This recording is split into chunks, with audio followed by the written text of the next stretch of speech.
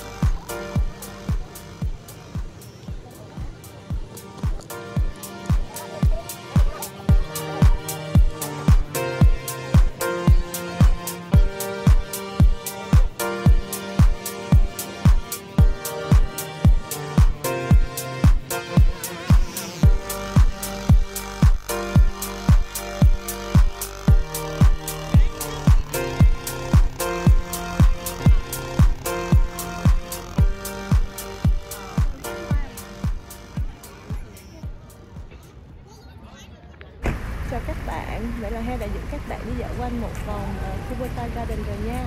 Khi nào các bạn có dịp ghé tới Seattle thì nhất định phải đi ờ, thăm cái ờ, công viên này vào mùa thu. Bởi vì ở đây đó có rất là nhiều ờ, cây luôn, màu xanh, màu đỏ, đủ kiểu hết.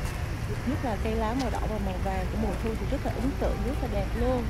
Hẹn gặp các bạn trong những video clip tiếp theo của Heo nha. Bye.